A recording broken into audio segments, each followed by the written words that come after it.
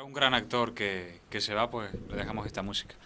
Una música perteneciente a la película Descubriendo Nunca Jamás y compuesta por Jan Kasmarek, que realmente yo creo que sí fue justa la academia dándole el Oscar a, esta banda sonora porque es maravillosa. Bueno, por supuesto. Incluso la, mm, eh, eh, la película es, bastante buena, yo creo que, que merece la pena verla un par de veces. Eh, con una buena interpretación de Johnny Depp, Que dicen que es la mejor que ha hecho, algunos críticos Sí. dicen que es la mejor. posiblemente. sí. Sí, también, bueno, la, tenía dentro del reparto también contar con, con Kate Winslet o Mm, también. eh, eh, Dustin Hoffman, que son actores que... Y que daba una visión de cómo se fue gestando la novela Peter Pan o la obra de Peter Pan distinta normalmente, porque fue porque re- realmente la película es pseudo biográfica. Sí, sí. Algunos tintes, Es una recreación donde, donde se está constantemente jugando entre en el filo de la realidad y la fantasía. No se sabe dónde termina la realidad y empieza la obra que está escribiendo el personaje, que se mete en el mundo de los niños para, para hacer esa historia, que llega incluso a, a tener más peso que, la- que los propios acontecimientos. Y yo creo que la, en la música también, esto es una banda sonora de un cierto carácter eh, minimalista o, o- o simplista en el sentido positivo, en cuanto que tiene esa cosa de, de- de ensoñación, de, de melodías así, un- en principio sencillas, eh, aunque después el arreglo sea más complejo. Em, pues quizás por, por eso, porque estamos en un mundo infantil, pero que, que- que no carece de su profundidad y que está siempre eh, entrando y saliendo de la realidad del- de la vida de los personajes, ¿no? Y que también tiene su venilla nostálgica, ¿no? Claro. mm, Vamos a escuchar otra totalmente distinta eh, de otro mm, compositor maravilloso que es Howard Shore y que aquí hace un arreglo a una sinfonía de Mozart para una de las mejores películas de Martin Scorsese, Joque Noche, aunque el título la verdad que deja mucho que desear, porque me gusta más el título original, After Hour, que por cierto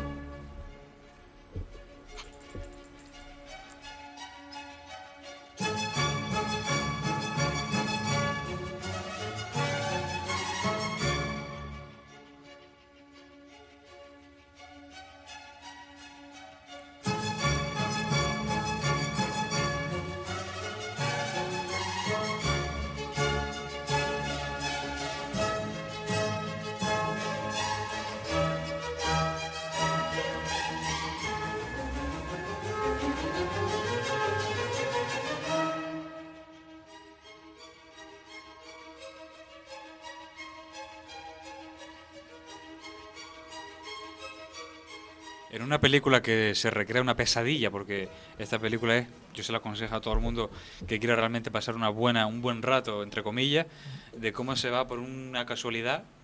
Este tipo se va metiendo en una pesadilla nocturna que aquello es para no salir. Después de salir de trabajar, meterse una pesadilla. Exacto. Quería pasar una noche con una chica normal y aquello se le va complicando de mala manera la noche y que es una pesadilla. Que por cierto, te estaba diciendo que el título Joque Noche que se le dio, a veces suelen acertar en las traducciones españolas, pero a veces no. Y este es un clásico. Normalmente no intentan ni siquiera porque se sabe que, que la, el, el lenguaje cuando se usa con un sentido artístico no se puede traducir. Claro, no se entiende. No. normalmente- After Hour, que es la claro. traducción original. After Hours, sí, el, claro, es mucho más sugerente lógicamente que, que, que, que- que esto de Joque que Noche, ¿no? Em, bueno, es una expresión mm, eh, como una frase hecha, significa de- después de, de- de las horas o fuera de hora, pero lo que viene significando es eh, cuando se hace algo que, que ya es mm, eh, pasado el tiempo de, de- de Del trabajo. fuera de mm, horario. Sí, fuera de Como las horario. sí. madrugadas, una cosa Sí, así, algo tipo así. de- Fuera de la rutina también. Mm. Y esta musiquilla, eh, arreglo de Mozart y, y puesta al principio, una música alegre para contrastar con una pesadilla que va a empezar. Ujú. ¿Qué te parece esta, este, este contraste que se usa mucho también en... Sí, sí. Es para Eh, confundir un poco, digamos, al... Esto es una cosa que, que en, en- sobre todo en, cuando estamos en géneros de, de thriller o de drama, eh, se, se utiliza el, el recurso del- de los contrastes emocionales, mm, quizás porque es una apelación a, a- a un absurdo, ¿no? pero que lo absurdo y lo que no se entiende pues siempre tiende a crear cierta inquietud.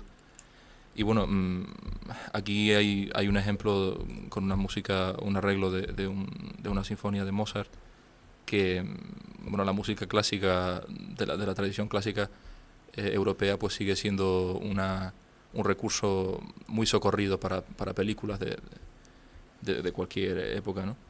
Que, que nunca se termina de, de Sí, acotar eso. cuando, cuando no hay creatividad se, se recurre a los clásicos de siempre y, y- y salimos del paso, ¿no? Muy bien dicho, porque esta película, en band- lo, que, lo que luego es la banda sonora propiamente original, es muy. es bastante. totalmente pasable. Esta película se caracteriza por los arreglos que tiene. Es una película donde constantemente están saliendo siempre música de jazz, música clásica, pero original, original propiamente solamente para esta película, creo que fue un temilla por ahí que se...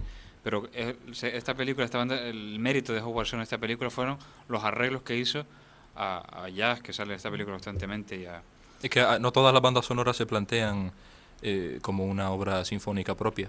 Hay películas que se, que se plantean simplemente mm, buscando unas canciones que sean adecuadas, a lo mejor haciendo dos o tres propias para películas, y entre canción y canción pues se ponen arreglos. El- Sí, lo- pero eh, pierde, pierde ese carácter Sí. artístico, ¿no? La Bueno, banda dep- sonora. Depende de cómo que- se plantee cada película. eh, Son mundos distintos.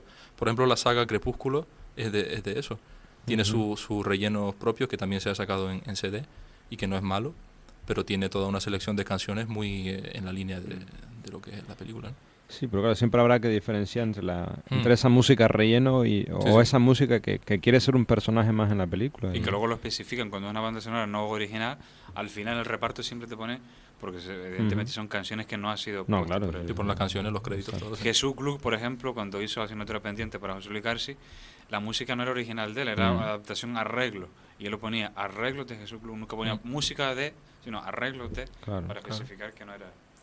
Vamos a escuchar otra banda sonora, por cierto, que de Howard Shore, que no habíamos dicho también, que aparte de esta, de esta adaptación de Hockey Noche, también tenía maravillosas piezas que hizo original Sidel, como pudo ser Ed Wood para Tim Burton, Mm. o cuáles más también tenía. Bueno, lo, lo- lo- lo más que, que nos coge de cerca y que, y que ti- tiene que ser una de, la- de las obras eh, cumbres en, en música cinematográfica y una de mis favoritas personales es toda la trilogía del Señor de los Anillos. Que eso, eso son Magnífico. unas obrazas sinfónicas que, que tira para atrás. ¿no? Vamos a escuchar una maravillosa banda sonora para, para una película también bastante interesante.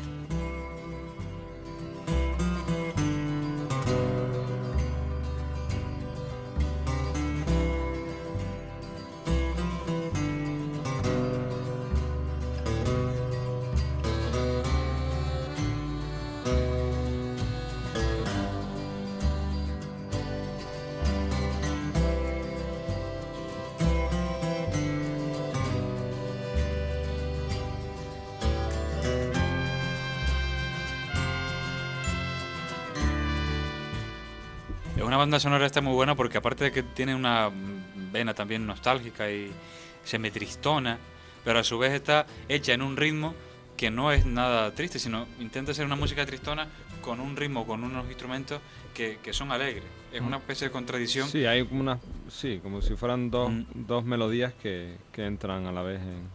Y, y esto se usa cuando la película trata sobre la vida, sobre la tristeza, la alegre y tristeza de la vida. Y, y esta, la- no sé si has visto Pequeña Miss Sunshine, que es una película Sí, creo que sí. que tuvo mucho mucho éxito y que yo creo que esta banda sonora también que tiene tiene su mérito la compuso Michael Dana y que, y que realmente la película sí tuvo más éxito que la banda sonora por, por eso queríamos sacarla a relucir porque pasó desapercibida la banda sonora y es muy buena ¿eh? tienen ese ese tonillo. Vamos a escuchar la otra versión que hizo eh, John Barry para, para otra película la primera casi una de las óperas primas de Francis Ford Coppola. La crítica siempre ha puesto esta película a parir la de Pe- Peggy Sue se casó. Es una película protagonizada por, por Lara Turner y que Catherine Turner, perdón, y que realmente no tiene una película pasable, pero la banda sonora de John Barry sí que es muy buena.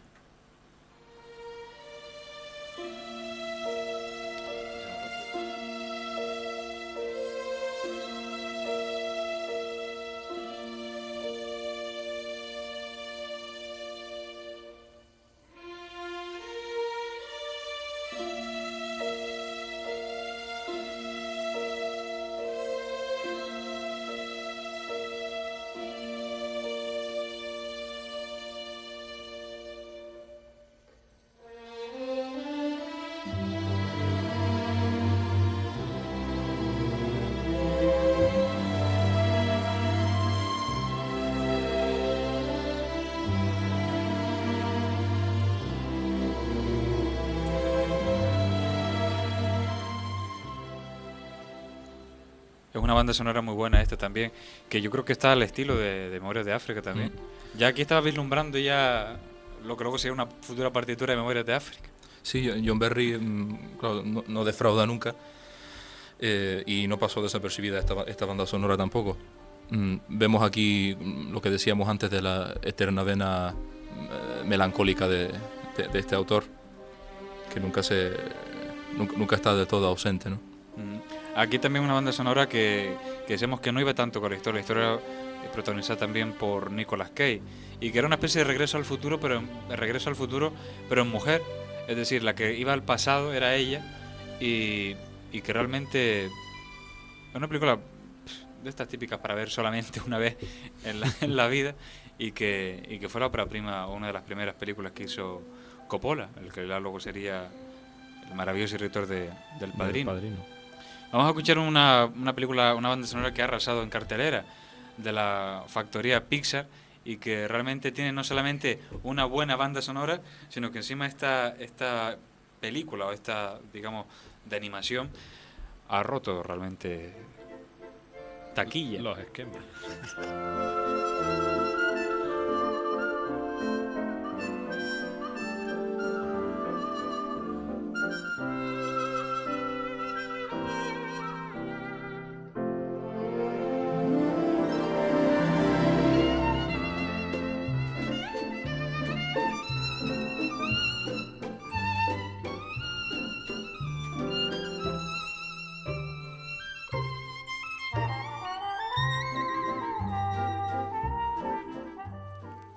Maravillosa, ¿eh? Compuesta por eh, Michael que- Giacchino, se- para los que se- sepan italiano. ¿Qué te parece esta maravillosa? Eh, hombre, esto, esto es una partitura muy, muy curiosa, muy graciosa, eh, una música pues, un tanto ligera, que tiene un, unas re- reminiscencias de la época del, del quizás del cine mudo, de, de Chaplin, de los felices años 20, 30, no tan felices. Eh, y, y bueno, toda esa cosa del, del swing, del, del- de la música de de, la época? de, de aquella época Sí, tiene ese algo de estilillo cómico. Mm. Recuerda mucho al jazz, por supuesto, al swing, toda esta, toda esta musiquilla, porque era la época de- del, del, del abuelete protagonista de, de la película, que era su, Sí, música, ciertamente, ¿no? sí. su pasado, su música siempre. Más o menos, más o menos por aquella fecha sería así. Y vamos a ir con una de las mayores bandas sonoras que a nosotros nos gusta tanto porque es de la película en la que se basa este programa, de la que nació este programa, Sesión Continua, compuesta por Jesús Club. Esta ha sido original de él y que fue una banda sonora portentosa.